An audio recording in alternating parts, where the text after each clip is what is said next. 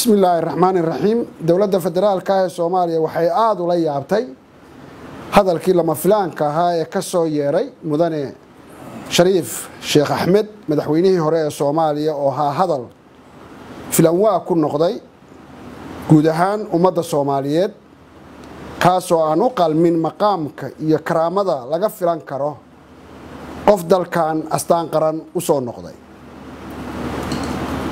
Sidaas awgeed waxaanu madaxweynihii hore shariif sheekh axmed ugu yeeraynaa inuu dhowro magiciisa iyo sharafkiisa.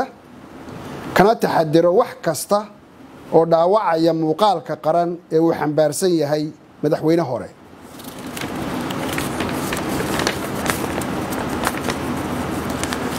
Dowladda soomaaliyeed madaxdii hore ee qaranka iyo cid kasta oo doonaysa horu socodnimada dalkan waxaa waajib ka saaran yahay ilaalinta midnimada badqabka iyo amniga guud ee dalka.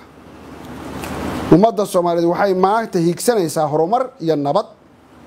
Cid kasta oo hoggaan soo qabatay waxaa laga sugayaa inay ka qayb qaataan xoojinta iyo ka midho dhalinta himilooyinka iyo rajada shacabka soomaaliyeed.